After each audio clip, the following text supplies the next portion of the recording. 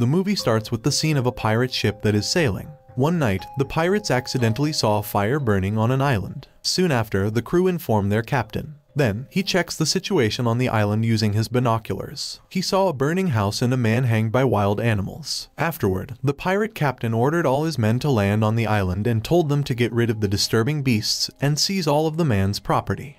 Moments later, the pirate ship anchored on the island. After the pirates managed to land, some crew members met the man being hanged earlier. His name was Robinson Crusoe. Afterward, they brought him to meet their captain. When they arrived at the captain's room on the ship, a parrot came in through the window. Soon after, the captain tried to attack the parrot. Then Robinson said that the parrot was his. After that, the captain lets the parrot stay with Robinson. Then the captain started asking him some questions. First, he asked about the situation on the island and whether there was anything valuable, such as treasure. Hearing that question, Robinson took his parrot out of the room, and then he answered the pirate captain's question. On the other hand, the parrot outside the ship was talking to two mice that had emerged from the ship's log. The parrot named Tuesday began to tell the mice about how he and Robinson met on the island.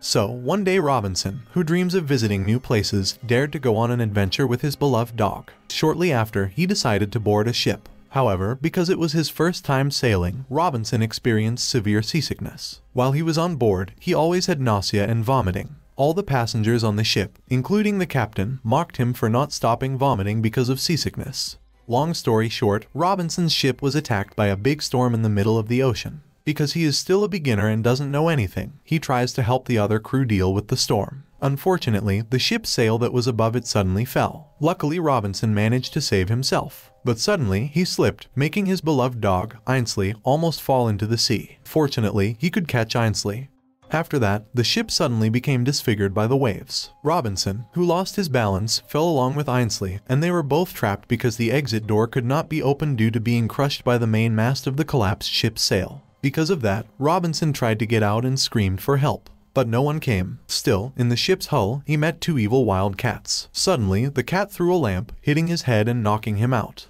Meanwhile, the ship's crew, who knew they would not survive the storm, finally left the ship. Then they left Robinson, who was trapped in a lifeboat. Robinson, who was still unconscious, did not know that he had been abandoned, so he drifted in the middle of the ocean until he was finally stranded on a remote island. So, the island is home to several animals, namely Rosie, a female hippopotamus, Carmelo, a male chameleon, Scrubby, a male goat, Pango, a male anteater, Kiki, a female bluebird, Epi, a female hedgehog, and Mac, a male parrot. Because the hurricane hits the island, the animals run to save themselves. As the animals try to escape the storm, Carmelo, Epi, and Scrubby nearly fall off a cliff. Luckily, the three of them got stuck in a tree branch, and when Mac was trying to help them, a rock accidentally fell from the top of a cliff and hit his head. In the end, the branch they used to hold broke, and the four of them fell. Luckily, they survive. After the storm passed, Mac and his friends were surprised to see a ship and a human stranded on their island because this was the first time the animals saw a human. Pango thought that Robinson was a monster that emerged from the seabed. From the ship, Robinson screamed for help. When there was no answer, he and his dog decided to get off the ship using a barrel so they could get ashore. Seeing him, the animal was scared. Then they had the idea to drive him off their island by using strange sounds. Robinson, who heard a strange sound from a distance, started to get scared. He thinks the sound comes from a tribe of cannibals living on the island. Afterward, he rushed back to his ship with Ainsley for cover. Soon after, Mac and his friends are thrilled to be able to drive Robinson off their island. That night he comes to the ship to see Robinson resting. Here Mac is increasingly convinced that Robinson is not a sea monster who wants to eat him. Then he returns to where his friends are. After meeting his friends, Mac wanted to prove to them that there were other places they didn't know about outside the island. While talking, Scrubby smells fruit from inside Robinson's ship and tries to approach him. Robinson, who was warming up, was surprised to hear a strange sound nearby. He went out to see what it was. He was relieved to see a goat instead of a tribe of cannibals. Then he also saw a parrot flying around him. From there, he thought that on that island, there were only animals and no cannibal tribes that he was so afraid of. The next day, Robinson came back to the island. He began collecting the remaining items on the ship that might still be used as a source of food and a place to live.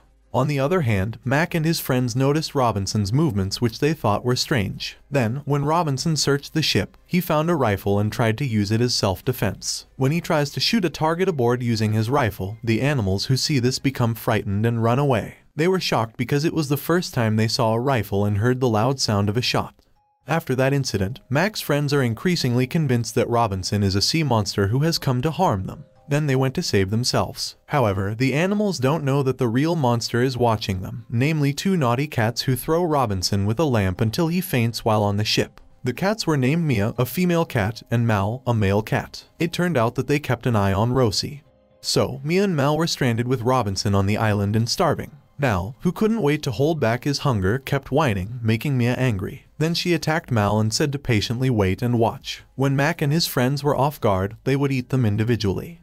On the other hand, Robinson, who had mastered his rifle enough, decided to hunt on the island in search of food. Then he meets Rosie. When he was about to shoot her, he didn't have the heart, and finally, he shot his rifle upwards to drive her away. Unfortunately, his shot almost hit Mia, who was lurking behind a tree. Robinson, who did not have the heart to hurt the animals on the island, decided to go and fish alone with Ainsley.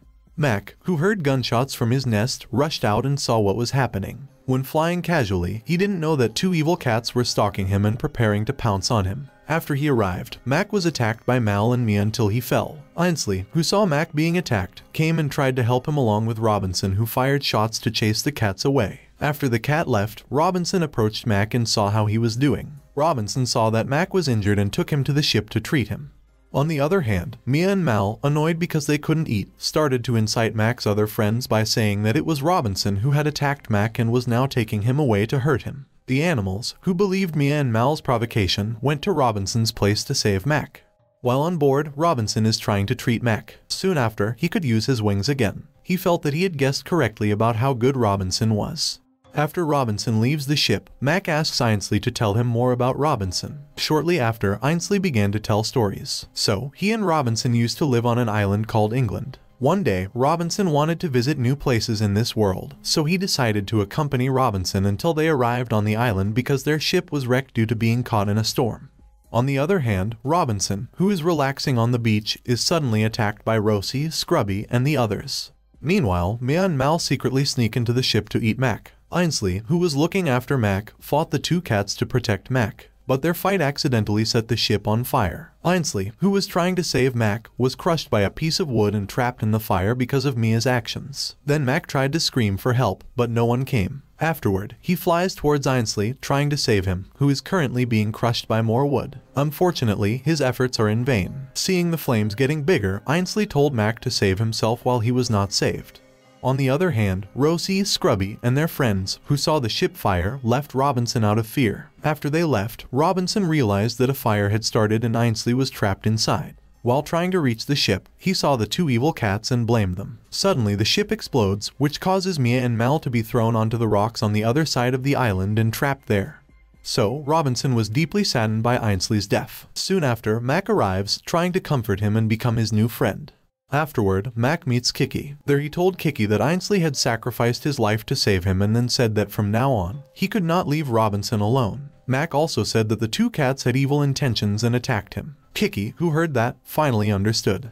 In the morning, Mac meets Rosie, Scrubby, and his friends. There he tells about what really happened. After hearing his story about Robinson, his friends finally realized they had been wrong all this time and wanted to apologize. Then they went over to Robinson. When they got there, they pushed each other because they were still a little afraid of him. But as time went on, they finally got to know him. Because of his kindness, they all started to be friends with Robinson and began living with him.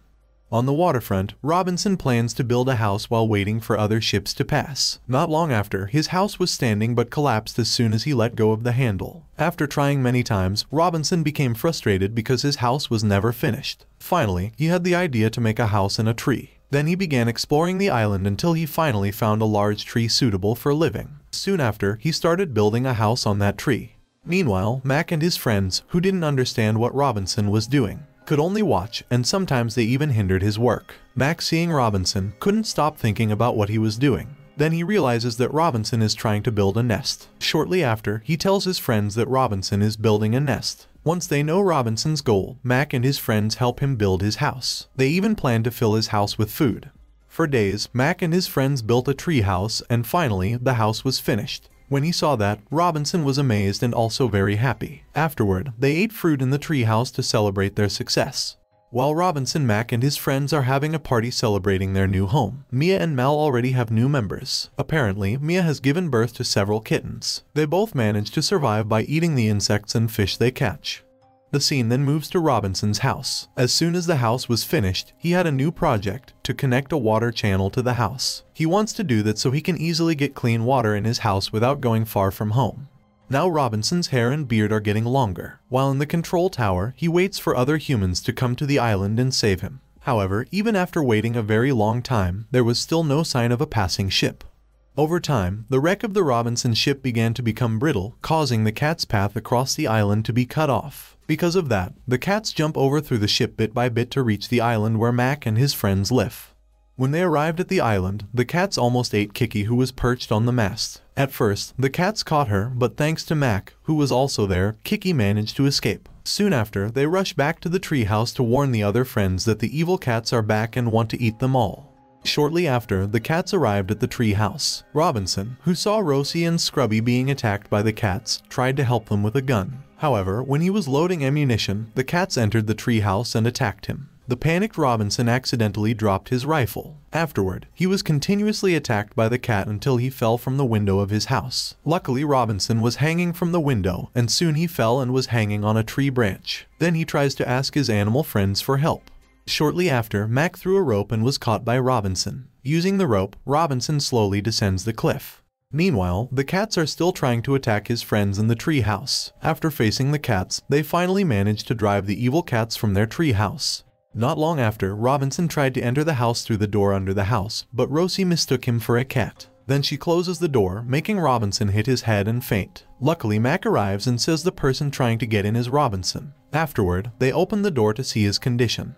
Shortly after, Mac took Robinson's shotgun and tried to use it to defend himself. Aided by his friends, Mac manages to use the rifle. But Scrubby accidentally drops the ammunition box when he tries to shoot a cat that breaks into his house. So his shot hits the powder and causes an explosion. The explosion temporarily drives the cats away, but they plan to return to attack Mac and his friends. Soon after, Mac plans to move his friends to another place. However, they couldn't leave Robinson, who was unconscious because of hitting his head on the door. Then Mac has an idea to lure the cats to the tower. It turned out that, before that, Robinson used the place to see if a ship was approaching the island. When the night comes, Mac and his friends start to put their plan into action. Soon the cats came and surrounded him. The cats thought Mac's wing was broken and took this as an opportunity, but they don't know if it's part of the plan. Shortly after, Mac tries to lure the cats up the tower. When they get to the top of the tower, his friends below try to bring the cats down the tower. Soon after, the tower fell into the sea along with the cats. After defeating the cats, Mac returns home. He saw their house burning and rushed there to help Robinson out. After getting out, Robinson used a hook and rope to get down from the house. When he almost reached the bottom, a piece of wood suddenly fell and hit his head. Then he fainted again and he was found by the pirates. After Robinson finished telling his story, he was forced by the pirate captain to work on his ship. But he did not want to stay on a ship full of criminals, so he secretly escaped from the pirate ship and returned to his island. At the film's end, the cats try to save themselves using a wooden ship. But instead, they get into a pirate ship, and their ship instead used by Robinson to return home to his island. It can be seen that the cats are enjoying the food on the pirate ship, while the pirate captain, who saw Robinson run away, intended to just let him go. After returning to the island, Robinson meets his animal friends again, and the film ends. So from this movie, Robinson teaches us not to give up easily despite experiencing difficult problems. He proved that good deeds are not limited to just a few things. Because of his kindness, he could help other animals. Then in return, he is also helped by wild animals on the island to survive.